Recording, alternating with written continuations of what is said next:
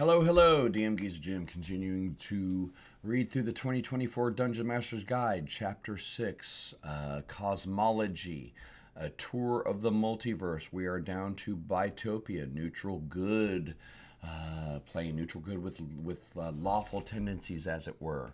Uh, let's read about it.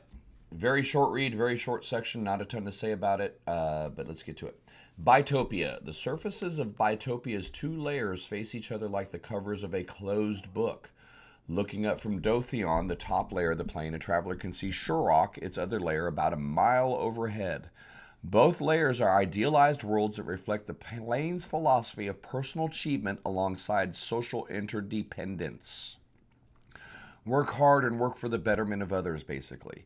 Uh, two layers of Bytopia, Dothion. Uh, the description is farms nestled among well tamed woods or hubs of pastoral activity and individual industry. Uh, the next layer is Shurrock. Small communities thrive around quarries and mills among rough country and harsh weather. Uh, you have the, the gatherer side on one side and the production side on the other side of the Twin Plains. They look down upon each other. Super short section, man. Uh, Bytopia Adventures. Bytopia is the heaven of productive work with the satisfaction of a job well done. The goodness flowing through the plane creates a feelings of goodwill and happiness in the creatures that are dwelling there.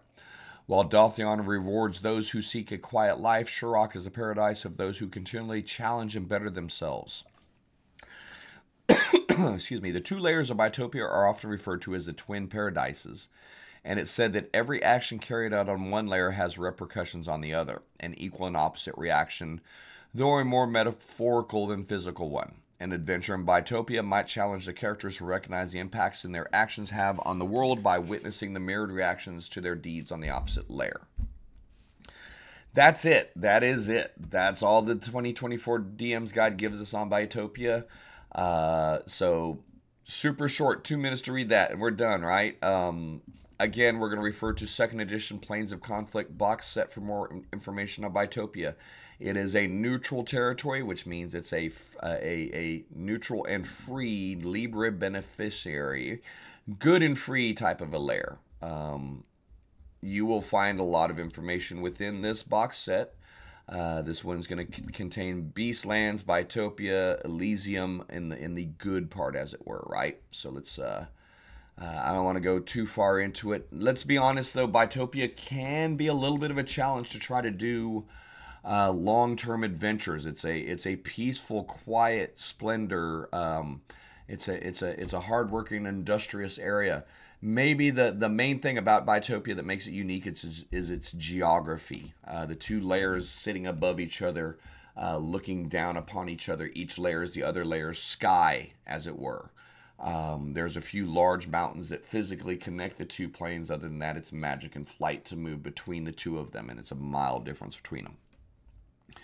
Let me get down to a little bit of artwork. This video is going to be super short because there's just not a ton for Bytopia, whether whether we like it or not. Um, it's not it it tends to be a little bit more of a uh, destination plane. A go here, pick this up, and go somewhere else. There's not a ton of adventure. Although Shurrock actually has, when you get deeper into it, there is some some uh, I don't want to say bad guys, uh, but well, the the the one of the what's the gnomish god's name? He'll hit me when it doesn't even matter. We're not even doing the video anymore. But yeah, the evil gnomish god actually cruises around in Shurrock. Um, yeah, like or not, we got a cool little poster. You got to flip that bitch back and forth to be able to read it. But this is this is a good visual of what Bytopia looks like. One side of it is is kind of rolling hills and plains and forests and orchards. The other side is a lot more wild forests and and and uh, jaggedy mountains. The people on one plane focus on farming and building stuff. The people on the other plane focus on uh, pulling from the earth, uh, mining and quarrying and and and uh, timber work. And the two uh, layers ultimately trade with each other. But yeah, you have the two large, several spires that connect the planes between each other. But other than that, just open area. So there's Bytopia for you. Not a lot to talk about. Um, again, my advice as a DM, it's it can be a challenge to make adventures that matter in Bytopia, but because it is a a tradesman's paradise, because it's a crafter's paradise, you'll be doing you can use Bytopia quite a bit as a source of goods or as a destination to pick stuff up. You need the greatest dwarven craftsman. He's probably gonna be in Bytopia crafting on something, for example. Uh, but that's really kind of it. Um, uh, short video, boring video. Bytopia is kind of a boring plane. It's okay. Not every not every plane is the abyss. Not every plane is the nine hells, and not every plane has to have some, a, you know, 50 layer dungeon. But you can get some work, uh, some use out of Bytopia ultimately. Uh, thanks for hanging out. That's the end of that video. Quick and sweet. We'll be back for the next one, which is Carceri. Cool plane. Lot of lot to get our brain around, but probably not a whole lot in this book. Likes, follows, subscribes are appreciated. I appreciate your time, and hopefully we'll catch you for the next video. See you soon.